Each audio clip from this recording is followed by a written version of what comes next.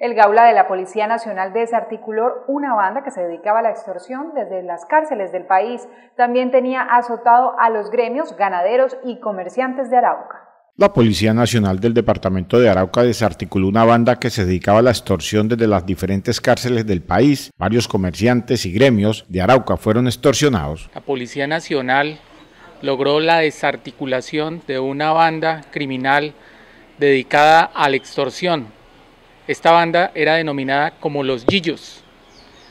Esta operación se materializó mediante la judicialización de tres personas de sexo femenino que se dedicaban a la extorsión. Estas personas eran las responsables de realizar cobro de extorsiones mediante la modalidad carcelaria. Estas personas hacían estos cobros que oscilaban entre 500, 1000 y 5 millones de pesos. El comandante del Departamento de Policía de Arauca manifestó que se logró la captura del jefe de la banda, alias Gillo. Es importante resaltar que en esta operación se logra la imputación del líder de la banda, denominado Gillo, quien se encuentra recluido en la cárcel modelo de la ciudad de Bogotá, y una mujer denominada alias Rizos, quien se encuentra recluida en la cárcel de Cómbita, Boyacá. Estas personas tendrán que responder por los delitos de extorsión, estafa, lavado de activos y concierto para delinquir.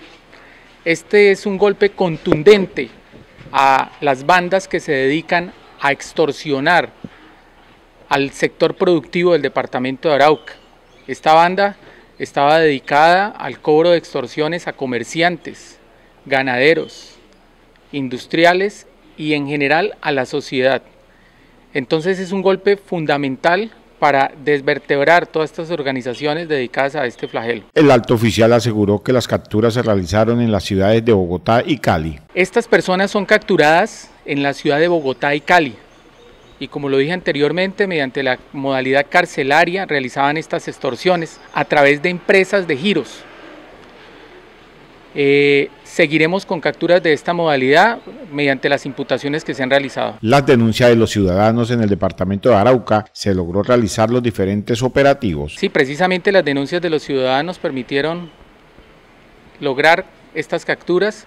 Estas personas realizaban estos cobros extorsivos principalmente en la ciudad de Arauca y en la ciudad de Tame. Desde las diferentes cárceles del país se siguen extorsionando a los ciudadanos de bien. Esta es una modalidad que efectivamente eh, sigue presentándose. Estamos trabajando articuladamente con el Instituto Penitenciario y Carcelario para evitar que las personas que se encuentran recluidas en estos centros tengan acceso a equipos de telefonía móvil celular, los cuales le permite a estos sujetos realizar este, esta, esta clase de extorsiones. El Gaula de la Policía Nacional hizo un llamado para que denuncien cualquier tipo de extorsiones que se estén presentando en esta región del país.